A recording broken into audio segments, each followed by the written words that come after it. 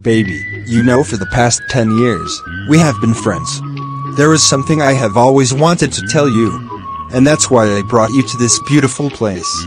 I was shy before, but now I have the boldness to tell you. Where are you getting to exactly?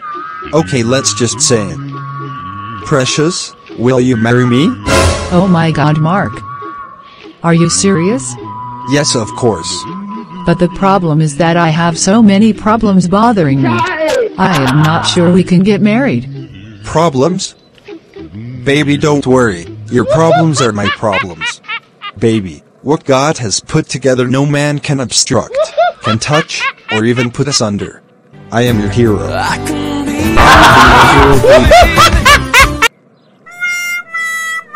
Baby, I love you, please marry me. Okay if you insist.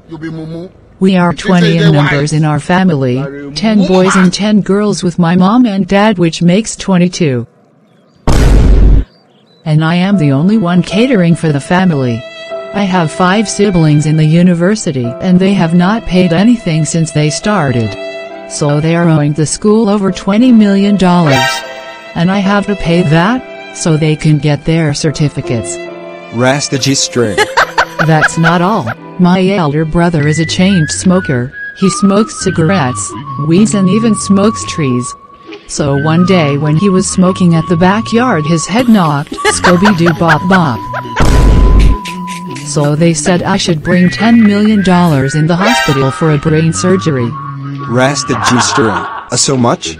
My younger sister was trying to light the gas cooker and the flame burnt her face. I took her to the hospital, they said I should pay $12 million for plastic surgery. One, two, three, four. How many bill did she even mention? It's like I had lost count. And my other brother, when he was trying to pick oranges from the tree, he fell down and broke his neck.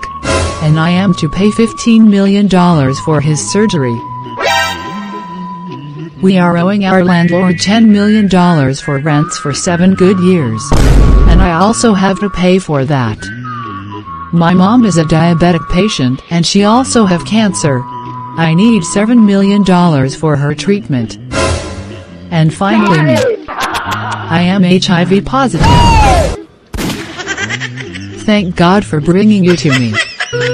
Mark I will marry you. Mark runs away. Wait where is my new husband? Let me call his phone number. She calls his number and he picks the call. Hello Mark, Hello, the number you are calling does not exist. Please check the number and dial again. One, eight, seven, six. Bye bye.